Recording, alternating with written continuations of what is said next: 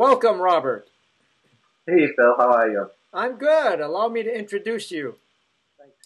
Artist Robert Harney started his painting career quite by accident after moving from Boston to the more rustic setting of Mansfield, Massachusetts over 20 years ago. He is a self-taught artist whose raw and versatile talent shows up in his work. Uh, Robert, you described yourself, as I just mentioned, as a self-taught artist. Have you had any formal training whatsoever? Um, no formal training. I did take one watercolor class, which was quite interesting. I think for the instructor, probably more than for me. Um, I did get quite adventurous in what I was putting together. Um, the number of students that were there, I think mine came out quite different than what everyone else expected or what everyone else would come up with. So, uh, but that is the only class I've actually taken. I've done a lot of books. I've uh, read a lot of books, um, some investigation on the internet, things like that. Well, that sounds awfully impressive. Uh, self-teaching yourself art. That's that sounds like a huge challenge. Well, I didn't, as I said, like it was kind of by accident that I even got started on it. So um, as I progressed through childhood, you know, I, I started out drawing horses and things like that, and art sales, and never paid much attention to it, and it kind of just developed. So um, I never thought that I'd end up doing this for any kind of length of time. I just kind of got into it and dropped it, and got into it and dropped it. So kind of just came together. Well, so when did you first realize you were an artist? Um, probably about six or six to eight years ago. Um, quite by accident again.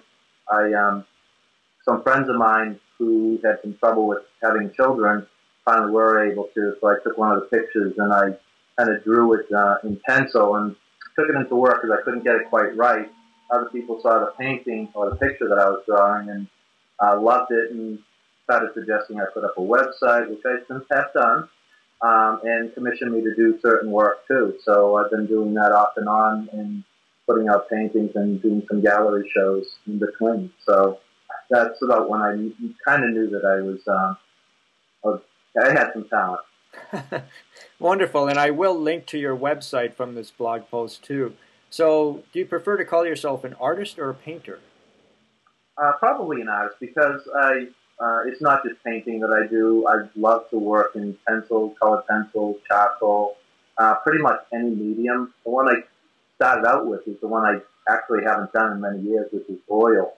Um, and it's more because of the fact that I, um, because they have such a long drying and curing period, that um, I don't have the room to store them.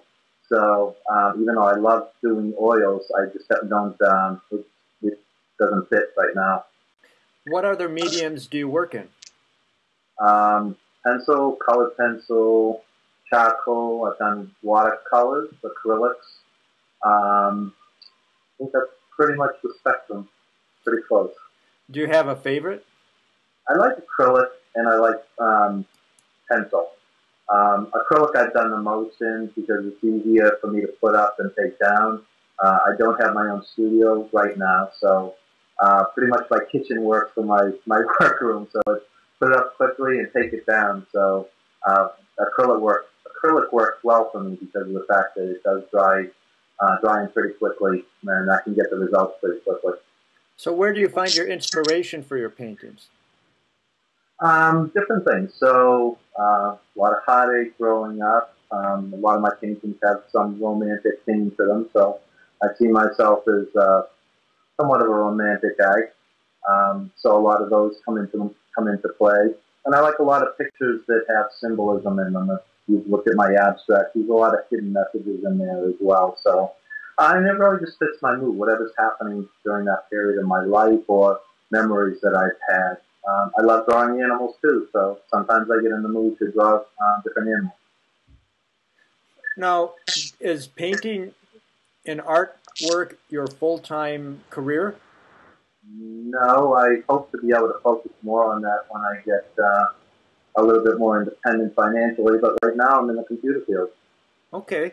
And how often do you paint, and how do you keep motivated to paint regularly? Uh, I go in spurts. Sometimes I'll sometimes I'll paint every day. Uh, with my kids, I know you actually get started till 10 o'clock at night, sometimes till 2 in the morning. So I kind of lose track of time when I get started, when I'm really in the, uh, in the throes of it. Um, sometimes I won't do it for a couple of weeks at a time.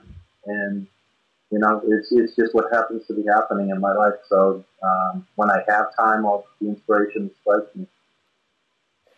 You know, your story is something I love to hear. Just somebody who has a talent, discovers it, in your case, somewhat late in life, and just follows your heart and follows your passion and makes something happen with it. And I think that's wonderful inspiration for other people. What advice would you give to other artists? Uh, don't be fearful. So one of the things that I've heard many times, and I tend to look at it very optimistically, is um, don't be fearful because my my stuff that I put out there shows a lot of emotion. Um, people think that, or say that I have a lot of courage for putting um, a lot of my feelings out on the line there. Um, but there's no there's no bad artwork. It's really what makes you feel good. Uh, and if you can put something out there that you think that other people enjoy, most people are less talented than you believe. So they'll have the courage to put something out there that really shows you your true feelings or what really inspires you. I like that. I, I think we all could benefit from that advice. Uh, what famous artists have influenced you and how? Um, let me see. Dali, you can see in my uh, a lot of my paintings from the uh, abstract or the symbolism that shows up there. Uh, Jack Vettriano, who's a very romantic painter. Um, he, has got a couple of famous paintings out there. He's born in Scotland, uh, a little bit earlier than I was, but he's um, another person who's, who's really put some pretty inspirational, uh, romantic type um, of paintings out there. I very much admire his work. And someone else who um, I discovered probably about eight years ago, um, Henry Patrick Raleigh was an illustrator back in the 1930s, and some of the stuff that he put out had some of that that old style. It was um, pencil or ink, but it, again, it showed a lot of the romantic side of things. Now, I just I discovered you when I was searching for an image to accompany a blog post I wrote, and I found Forlorn Adia, a beautiful painting which I'll reproduce for this blog post as well. What was the inspiration behind that work? Um, I know a few friends of mine growing up who have had some uh, heartache, heartache in their life. Um, some friends who were girls, and uh, one in particular who was going through a very bad time. And it, it just, it was, I really wanted to put something together that really showed how I thought she felt. Um, and it was just a de- distraught um, feeling, even though it, in the picture it shows her out in the woods alone by herself.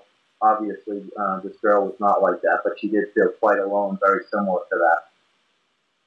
Well, it, it really struck me. It jumped out at me, and I know others will like it too.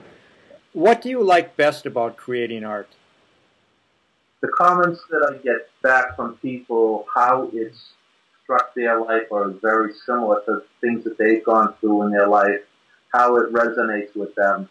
Um, those are the types of things, the comments that I get back that really make people feel things that are similar to them in their life. That hearing that type of feedback uh, really, really gets to me. Now, I imagine your paintings are for sale on your website. Yes, they are. And I will link to that. Uh, how how are you handling the business side of being an artist? Not very well. I um I I tend to want to make people have my paintings, so it's really when people can what people can afford to uh, purchase. So when it comes down to um, the purchase price, I really work with the people who, um, you know, what, what they can afford. So I, I don't think I'm a great businessman when it comes to that.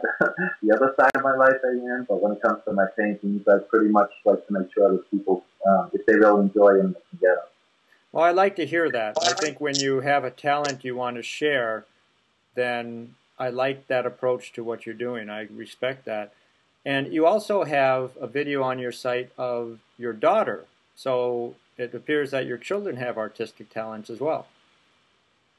yes, actually. Um, my kids are quite talented. Probably um, if they pursued it more, they'd be more talented certainly than I am. But still trying to get them into the art profession. Um, my middle daughter is Megan is actually quite talented uh, vocally. Um, she's she's um, was in a recording studio, hasn't put anything out yet as a single, but has worked with a producer. But um, on the art side of things, they've all put um, artwork together, and one of the one of the people that I know wanted to purchase some of her paintings, so she's well ahead of the game for me. well, that's wonderful. Um, I'm so glad that our paths crossed and that we could talk today. I appreciate your sharing your thoughts with us. I'm a fan of your work, and it's been a pleasure talking to you. Thank you, Phil. Thank you very much for taking the time. I know we've been trying to get this together for what, well over a year now. so to finally get you live and uh, have you having the patience, I really appreciate that. Oh, it's my pleasure. It doesn't matter how long it takes, as long as we're, we get it done, and that's what we're doing now. So thanks again, Robert. Thank you.